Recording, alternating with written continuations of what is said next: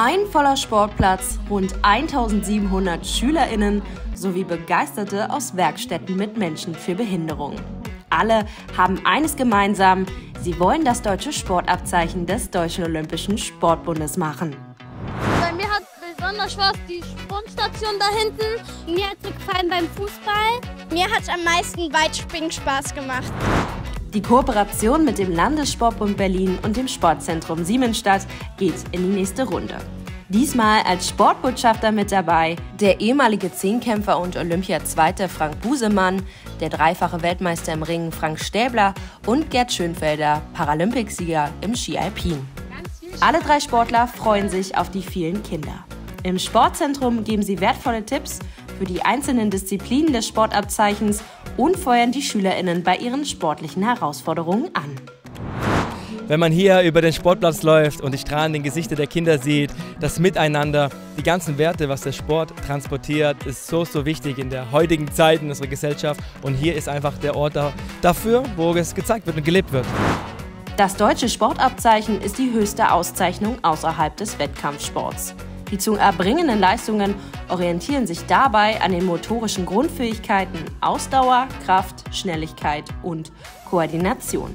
Aus jeder dieser Gruppen muss eine Übung erfolgreich abgeschlossen werden. Jedes Jahr geht der DOSB auf Sportabzeichen Tour, damit möglichst viele Kinder und Jugendliche das Abzeichen erbringen können. Ich finde diese Veranstaltung einfach richtig gut, weil man Sport machen kann und ja, es ist halt auch mal was anderes als Schule. Mittendrin statt nur dabei lautet das Motto. So kann man zusammen mit Friedher Teufel, dem Direktor des LSB Berlin, das Tischtennisabzeichen machen. Und auch für unsere Botschafter wird es nochmal sportlich, wenn sie gegen die Kids in der Springseil-Challenge antreten. Und so wird die deutsche Sportabzeichentour für alle zu einem großen Miteinander.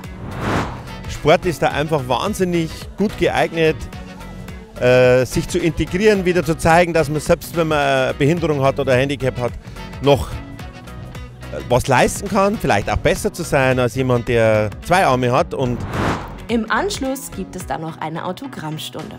Und damit auch der Spaß nicht zu kurz kommt, laden Mitmachangebote wie das Reaktionsboard und die Wurfwand der Sparkassen Finanzgruppe, der Ernstings Family Familienparcours mit Sackköpfen oder Hula Hoop zu unterhaltsamer Bewegung ein. Die Kids können sich aber auch ausprobieren und somit wertvolle Erfahrungen sammeln. Also ich fand ja ähm, der Rollstuhlbasketball ganz cool. Oh ja, der war cool. Dass man sich, ähm, dass man auch äh, mal fühlen kann, wie sich äh, Menschen fühlen mit einer, sagen wir mal, mit einer Behinderung, sag ich jetzt mal. Einer körperlichen einer Behinderung. Als Erinnerung an den Tourstopp in Berlin können sich die SchülerInnen kostenfreie Fotos von ihren Sportabzeichenprüfungen an einer Fotostation abholen. Und natürlich gibt es nach erfolgreichem Abschluss auch die Urkunde. Also es macht uns heute sehr viel Spaß. Ich finde es an sich eine tolle Veranstaltung. Ich wünschte, das könnten alle Schulen machen. Mein Tag war heute gut, sehr gut und alles hat mir gefallen. Die Sportabzeichentour zieht noch bis September weiter, ehe sie in Brandenburg an der Havel ihr Finale erlebt.